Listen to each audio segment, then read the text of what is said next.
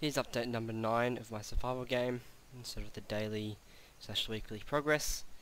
I've been working a lot on getting crafting uh, UI in, so I'll give you a show of that. I've also done uh, switching weapons based on where they are on your person, so each slot is assigned a place on the character, so left hip, right hip, back, and back left.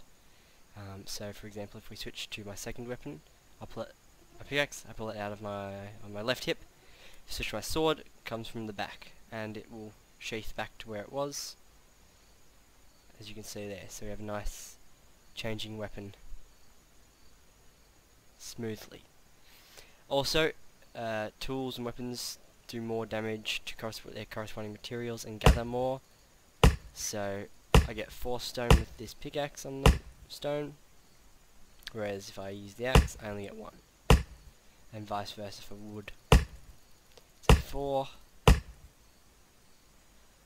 and if I switch to pickaxe, one. So now you can gather the appropriate materials based on the item. So now I've added the crafting UI down the bottom. If I click craft, it shows that how many seconds it has left and places it. So also this has a crafting so if we obviously need to cook the meat first. You can also have multiple things stacked up in the crafting queue. Let's get rid of this. So we'll grab some wood. Quite a large amount of it. Just want to craft a few things. And so if we want to craft two campfires, one, two, just like if we come here, we have our cooked meat. So now we're going to put it in the crafting queue, and now it comes out of the crafting queue.